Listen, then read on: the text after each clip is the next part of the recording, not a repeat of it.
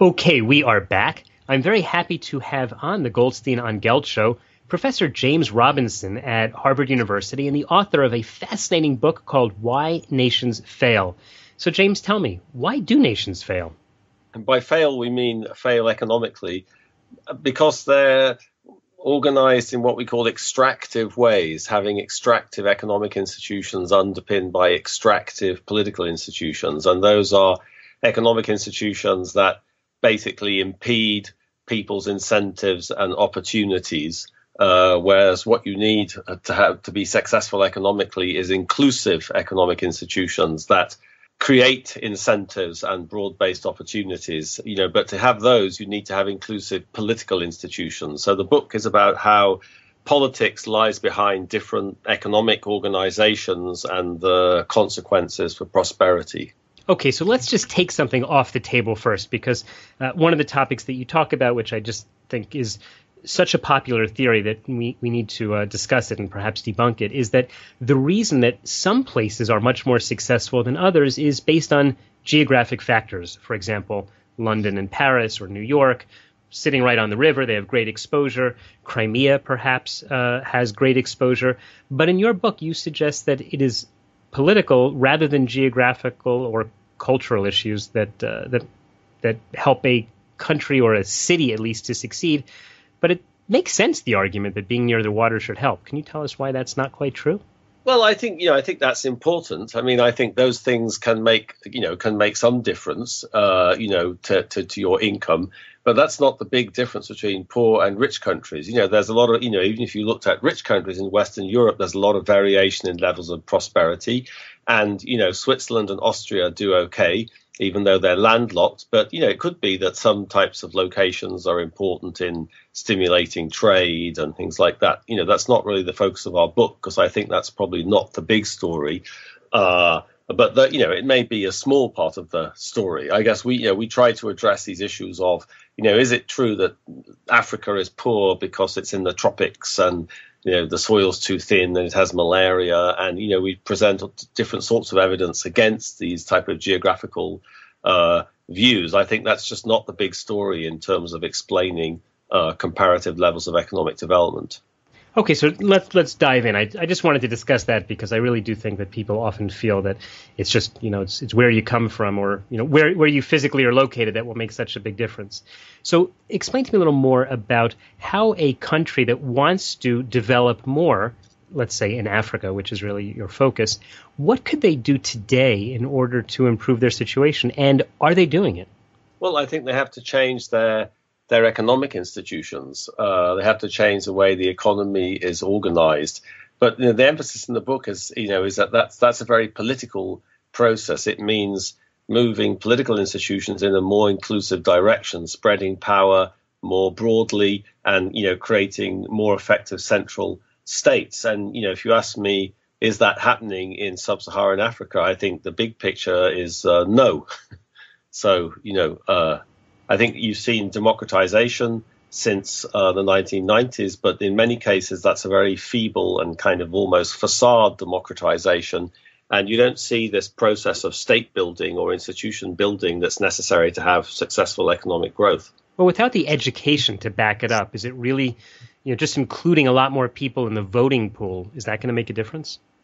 Yeah, I mean, you know, about having inclusive institutions is not just about having an election and you know declaring a victory. Uh, you know, I think it's much more than having. Uh, there's many very dysfunctional democracies, so so having political power that spread broadly in society, you know, is much more than just holding elections. Uh, you know, yes, you need to have public good provision, you need education, you need to have checks and balances and accountability, you need to have, you know, uh, broad empowerment of people in society. You know, so that's you know one of the problems in not just in Africa but many parts of the world with elections. You know, they, the elections are not really a sign that political power is broadly distributed. They can be managed by small elites. Mm-hmm. Well, we certainly see see our fair share of that going on in the Middle East, where a lot of our listeners where a lot of our listeners are from listening to the show here. We're talking with James Robinson from Harvard, and he wrote a, a fascinating book called Why Nations Fail.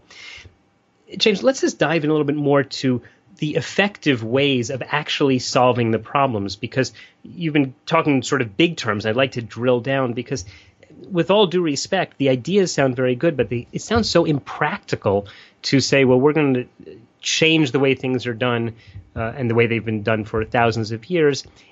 Is it is there a hope? In other words, could we hope that what you're what you're proposing could actually happen to really improve the lives of all these people?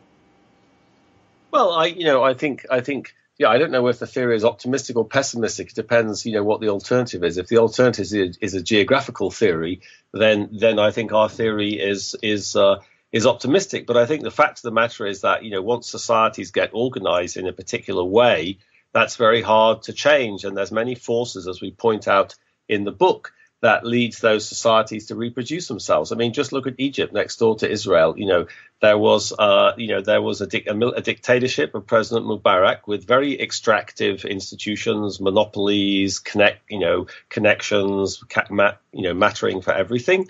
What happens, you know, after the Arab Spring? Well, basically, Mubarak 2.0 has recreated itself with the military yet again running the country. I think that just shows you how difficult it is, you know, to change the underlying politics of a and, society.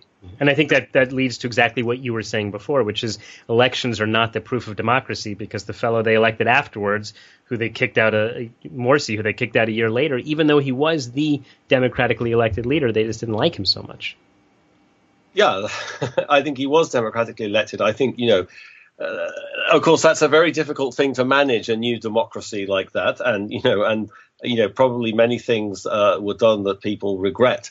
Uh, but the biggest problem, you know, was was the hegemonic power of the military in some sense, and uh, uh, and you know, and and the fact that you know democracy just wasn't stable really uh, with that that entrenched power in in um, in Egypt. So so you know, I think that's an example of what we call in the book the iron law of oligarchy, that extractive regimes uh, often tend to reproduce themselves.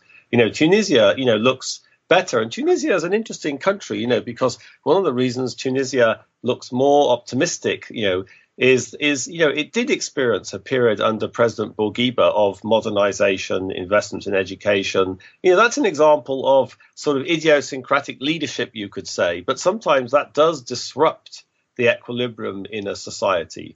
So, you know, you can have processes like that. Uh, you know, I don't think you can rely on enlightened leadership you know, to turn you into a developed country.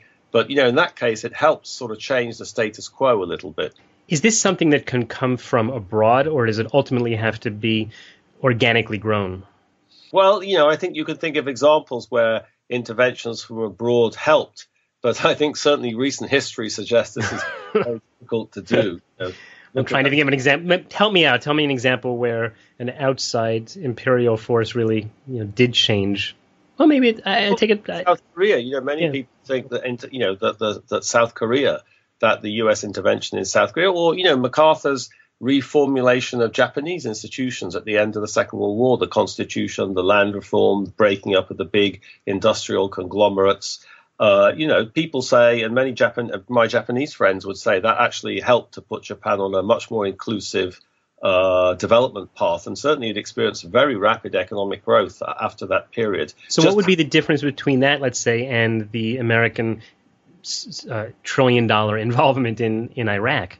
I think the nature of the society was very different. Uh, you know, that Japan was a consolidated, you know, homogeneous state that had already been through a long process of state building, national consolidation, building modern institutions, fiscal institutions.